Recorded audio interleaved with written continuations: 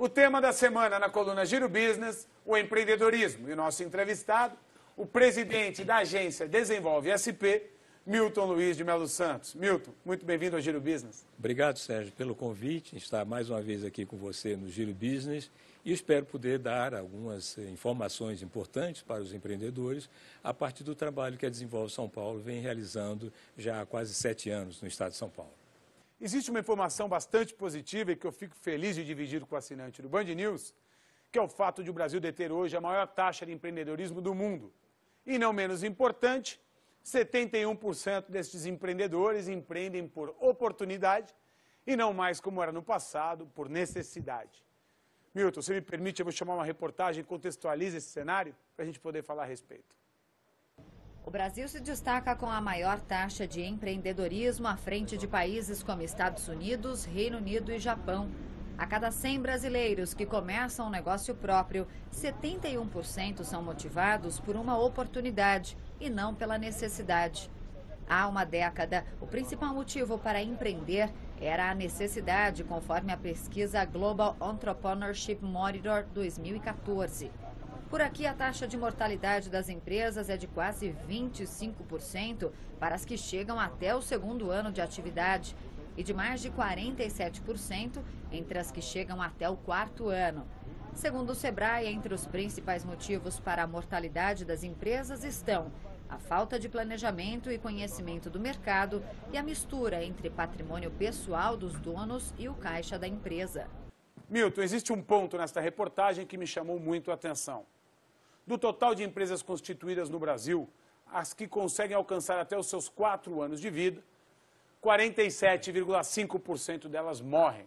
Queria que você comentasse a respeito deste fato, um fato tão lamentável para o país que detém a maior taxa de empreendedorismo do mundo. É verdade. É interessante esse dado, né? porque a gente tem um, um empreendedor extremamente arrojado no Brasil, mas ao mesmo tempo a gente percebe que ele não consegue ultrapassar certas barreiras na trajetória da empresa. E essas barreiras ele não ultrapassa por quê? Em grande parte, justamente pela falta de um preparo desses nossos empreendedores no que diz respeito à incorporação de técnicas de conhecimento, até mesmo do ponto de vista do planejamento econômico e financeiro da sua empresa e do setor em que ele se localiza.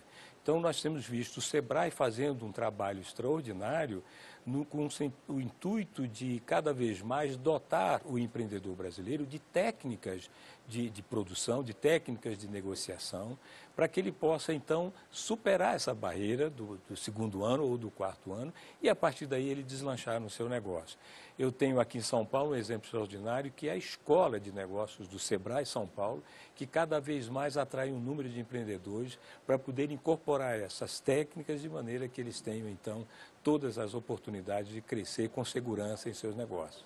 Agora, Milton, tem um ponto positivo, que a gente não pode deixar de levar ao assinante do canal, que é o fato das taxas de mortalidade estarem caindo ano após ano. É verdade. Nós já tivemos uma taxa de mortalidade no segundo ano é quase em torno de 50%. E cada ano que passa, até mesmo com todas as técnicas que hoje são divulgadas, com escolas de empreendedorismo, faculdades que inclusive trazem muitas técnicas para que esses empreendedores possam assimilar, nós temos visto então uma redução gradual desse percentual, o que mostra que cada vez mais o Brasil está se preparando para se tornar uma economia muito mais pujante, muito mais adequada para competir no mercado internacional. Agora, Milton, o Brasil vive atualmente uma série crise econômica. E falando pontualmente deste momento, como as empresas estão conseguindo se desenvolver ou até mesmo sobreviver?